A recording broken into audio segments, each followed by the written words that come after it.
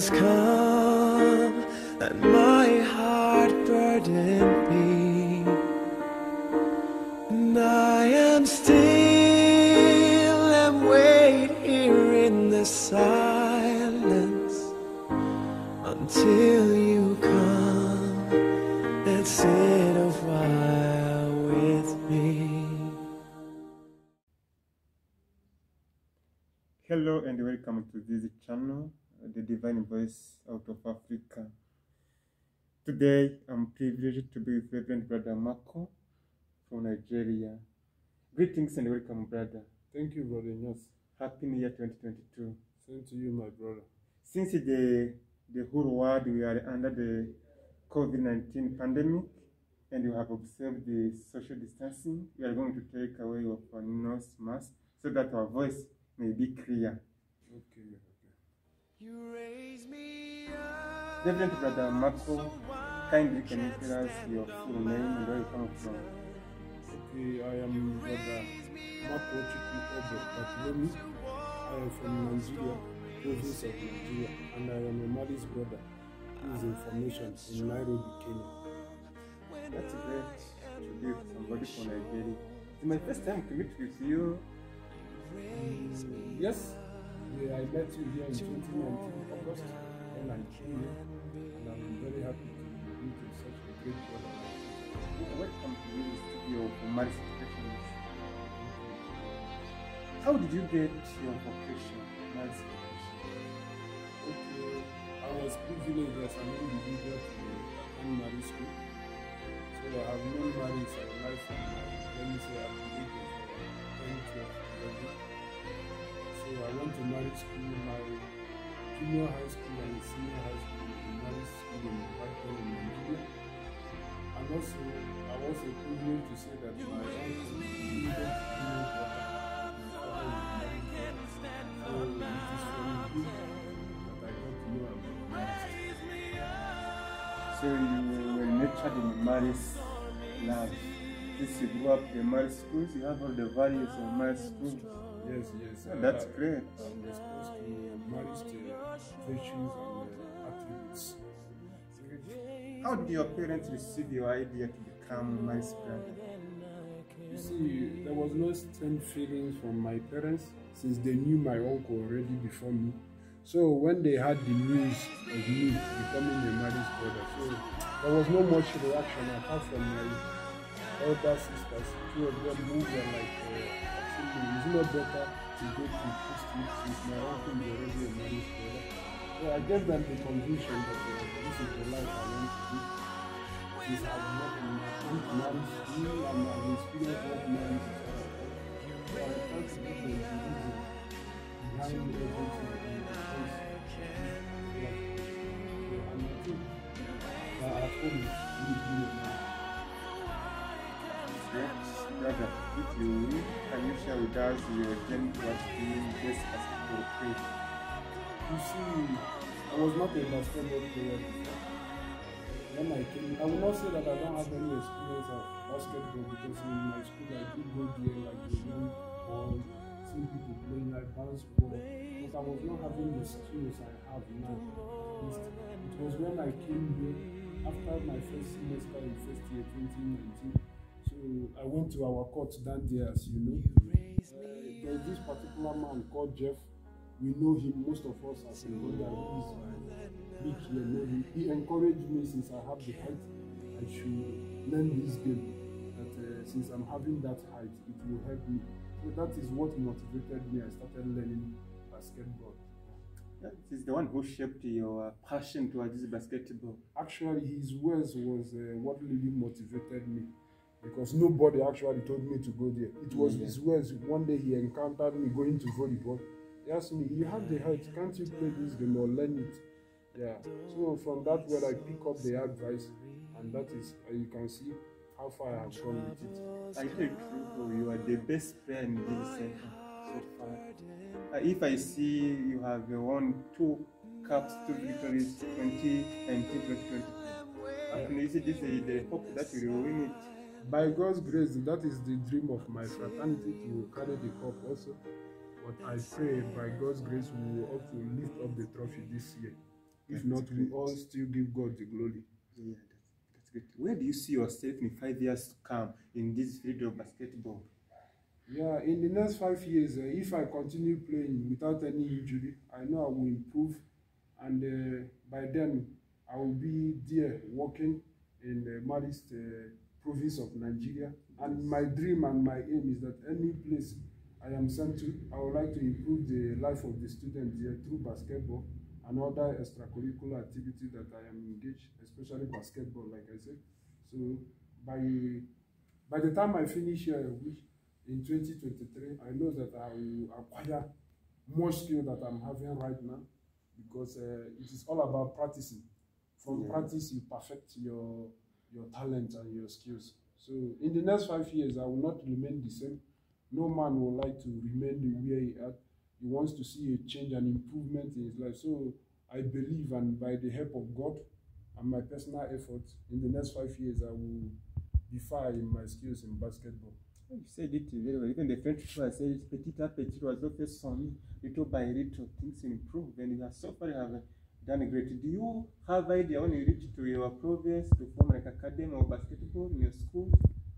I, I don't have any that idea in mind, but as you said it now, I will try to nurture that uh, feeling. But when I go back to our province, that is Marist province of Nigeria, I will make sure that any school I'm being sent to, I will try to improve the this aspect of basketball in there. If it is not there already, I will try to do my best to improve the life of students in terms of basketball. That is my goal, and that is why I'm putting much effort in it. That's great. You have a really passion for basketball. So you have been watching the basketball matches in TV, wherever. Do you have any player who have shaped your life Do you? You admire so much? Yes, uh, there's a lot of players that I admire in uh, basketball world, in the world aspect of it. Uh, there's this particular guy called Stephen Curry and LeBron James and so many other and James Harden. Uh, especially I like James Harden. Why? Because of uh, he's tall like me and the way he handles his ball handling is very fantabulous, fantastic. So whenever I see him play, I used to feel like how I wish I can play like this uh, particular guy. Every time I go to YouTube, I try to watch him. I follow him on Instagram to see some of his skills. Uh, he's a very nice player. He's a very good player. If you watch him, he's one of the best in NBA in basketball because he can shoot, he can dribble, and he's a tall man. Sometimes people believe that those who are tall cannot dribble in basketball, that their work is big man and to score. But for me, he can score, he can dribble, he has all the skills as a basketball player.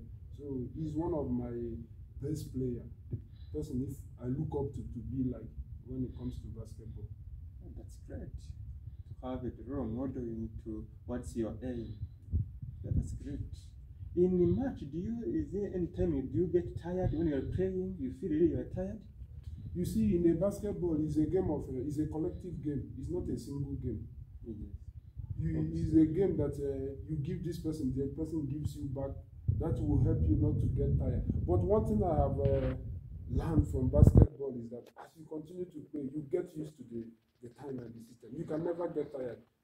That is thing I have understand in basketball, except if you are having injury or you are playing a one-man game. In a basketball, when you distribute ball, when you share ball, when you are not holding ball onto yourself, you will not get tired easily because you give ball, you free yourself, you gather the energy to go and move forward. So that is, uh, I can say that uh, in basketball, the way I am now, I cannot really get tired with the level I am. What uh, if I play with those who are already professional, I may get tired. But the level I am now, I don't think I can get tired because throughout this year, I can say in 300 last year, not this year, 365 days we have. I think I played basketball no less than 320 times. That's it, last year, which is 2021. So from January to December last year, I played basket, if I'm not mistaken, more than 320 times in, a, in the whole of that last year. Obviously, you have reached to self-actualization in basketball. So, how do you integrate the basketball skills with your consecrated life? You see, consecrated life is a is a very nice life to live. I have come to realize that from my own personal experiences and what I've read in, the, in book. And as a consecrated person, uh, you have to evangelize anywhere you are. And uh, you see where in this our environment we are, we have a lot of people who comes, though mostly they are men, who comes to play with us as a married brothers. Yes. So for me, I try to depict who I am, my identity to them. I cannot get nervous or get emotional because uh, I want to score again. As a Marist brother, wherever you find yourself, you have to uh, evangelize. You have to show who you are. You have to preach Christ to them through basketball. So I am the type that uh, if even if you rough me, I know I am on the right path. I try all my best never to cause worry. Though personally, I will inform you later that look at what you did, look at what you did. It is not right. Avoid it. So at that aspect, I try to depict who I am, express my Christian virtue to them. Uh, you know, basketball is a nice game. It it helps you to release stress. When you play, you feel relaxed. You will not be tensed. And you at the evening when you are doing other other spiritual work, you have the energy. So it helps you because when you don't play, let me say basketball, you may be occupied your head with so many things. You may be so stressed, tensed, and uh, you cannot uh, concentrate in your spiritual aspect of it. So basketball, if you play it moderately, in the evening you have your time to focus on God and focus on ev- uh, other things that will help you in your journey towards heaven. Yeah, that's great. If you will, you can share with us your best experience in a tournament. See, I, this particular tournament that we are having in uh, this our Marist center, Nairobi, Kenya, I used to enjoy it. It's a time to share our brotherhood. Though I cannot say there are no times of, uh, let me say, tensions and emotions, but uh, nevertheless, we all share our brother. It is a fraternal something that we are expressing there. How we live, like uh, the book, letter of uh, St. Peter say, how brothers live in unity. So I enjoyed football, I enjoyed the volleyball, and now we are on basketball. I am really enjoying it. All of them is something that I am uh, feeling happy and, and I'm happy I'm part of the three games that the center has provided for us this season. So I can't really say that this particular one is my best, but uh, since basketball is the one I have passion, and I have played the first game and it was a successful one. We we try to listen to each other. We try to distribute ball, and we make effort to, That's to make a basket. So that uh, I will say that this particular game we played today, I was really impressed by with my colleague in the court, and uh, we made a lot of points against our our opponent. Though it is not a competitive something like that such, but uh, you know nobody wants to lose, and uh, to God be the glory. He granted us the victory, and we won our game. So I'm very excited, and I'm very very happy for the game, and uh, I wish. Uh, the team to continue like that in the subsequent game to come. Yeah, that's great. What can you tell to people who see the basketball game something rough or something difficult for them? Can you tell them something? See, for those of uh, them who think that basketball is an, a difficult game, for me it is not. Since I have uh, experienced that, when I came here, I don't know how to handle ball, I don't know how to dribble, I don't know how to shoot, I don't know how to score, even with all my heart. But uh, with the motivation of uh, the man I told you, Jeff, Yeah, I was able to put personal effort. They say when you practice, you become a perfect man. So through practice and constant effort and concentration, I was able to reach the level I am. I'm not that too good, but I know that uh, the skills I have now, if they call me in any game, I can at least make some points and basket for the team I will be involved in. And uh, basketball is a nice game. I will encourage those who have passion for it, though they don't have the skills to put more effort, come for practice, do your own personal practice, and you will see yourself improving. No, no best basketball in the world, like I say, Stephen Curry, LeBron James, and uh, Harden. They all started like me and every other young stars who wants to play basketball. They started with simple, simple practice in their high school. they have their own their own free time they go and do their own personal effort like the way we read for exam you read as a group you go back to your room you read so that you are no no no no that is it through your effort Yes. you are master you are master of that thing.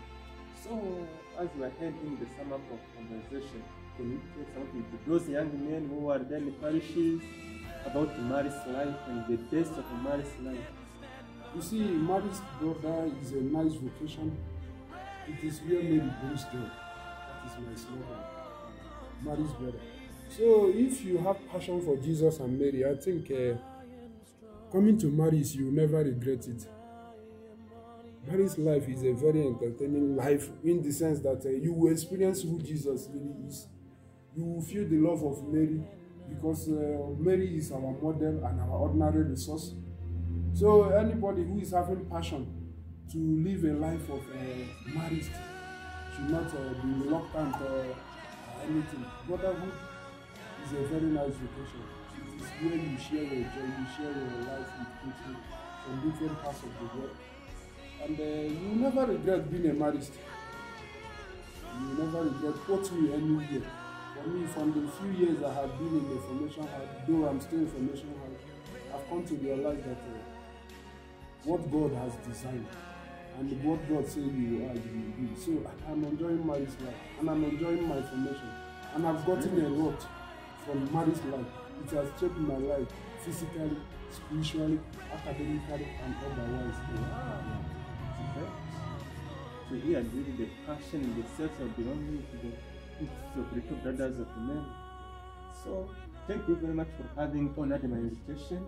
I think the time we shall wish you to call you back to our studio, you will come without hesitation. Thank you. I'm highly privileged and very grateful for inviting me. It is uh, my first time of doing such a thing, so I'm so happy and I'm So very grateful. And uh, I pray that uh, God will continue to strengthen you in this your work. Thank you very much.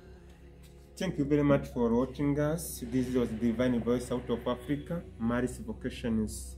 We try our best to give you the best, to give you what the Africa needs to hear. Thank you very much. See you next time.